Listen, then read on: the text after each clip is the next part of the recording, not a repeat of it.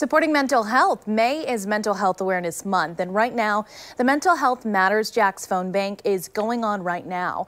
It's part of a citywide initiative to help raise awareness for mental health resources in our community. News4JAX reporter Janice Harris joins us live from the phone bank at WJCT Studios, and Janice, callers have less than two hours right now to phone in. Yes, they do have less than two hours, but they'll be able to call the 988 number as well after the time of the phone bank ends. But as you can see, we have people here right now that are taking the phone calls for anyone that needs help. And remember that mental health is a variation of things. It could be that a person is just feeling stress from work, it could be that a person is depressed, it could be that a person is dealing with PTSD. There's so many different things involving mental health that could impact impact people. Matter of fact, the CDC says there are 20% of people in this country, one out of every five, dealing with a mental illness. So there are resources that people can utilize. You can call right now, the phone just rang again. Someone else is calling right now to get some help. But locally, we also have first responders that deal with some very stressful and dangerous situations. They too need help, and they've been getting help through therapy dogs. We met some of those dogs today. Dogs are truly man's best friend, even during a tragedy. Walking from one person to the next, dogs can sense stress and they help soothe us. These therapy dogs are a part of Canine for Warriors and are trained to comfort military veterans. But the program has expanded to first responders. So I'm very grateful for what they've done for us. In honor of Mental Health Awareness Month, local law enforcement is highlighting the positive impact of these therapy dogs. Among those first responders impacted is Jacksonville's Sheriff T.K. Waters. Police officers experience daily other people's worst days.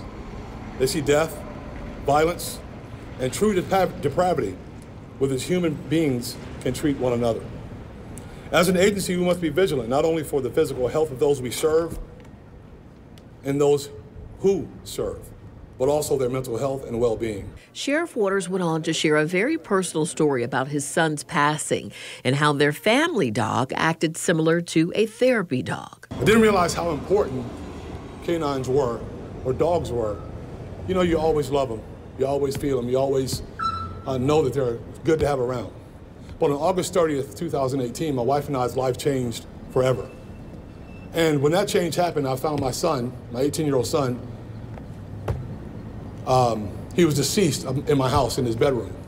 And when I went to the bedroom, I can remember vividly Sam, my dog, laying in front of him.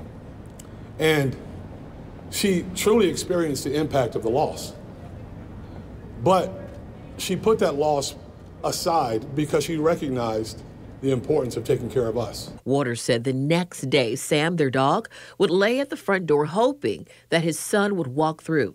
Waters and his wife cherish their dog that has provided love and support. K9s For Warriors has been helping a lot of different agencies and law enforcement, but they've also been helping veterans. In fact, that's how the program started out.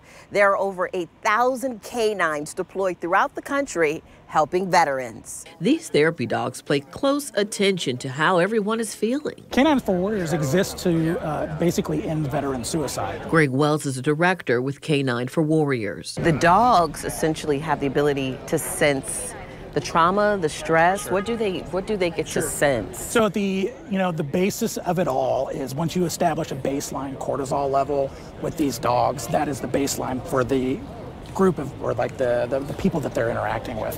When they notice uh, that, that cortisol level, which is your stress hormone, is off, it's typically because some kind of traumatic incident. The dogs notice the difference in the cortisol level and then they engage with the first responder or veteran making life a little easier after a traumatic situation. And those therapy dogs are currently throughout many counties and different sheriff's offices in Northeast Florida, but also beyond throughout the country, helping veterans as well. You know, the phone bank is still happening right now behind me. You have time to call. You can dial the number 988 or also the number you see on your screen. Someone is waiting right now. They're trained to talk to you, to hear what your issue is, hear what your concern is. It doesn't matter how big or small. Give them a call right now. They are so happy to help you. Reporting live from the studios at WJCT, Janice Harris, Channel 4, the local station.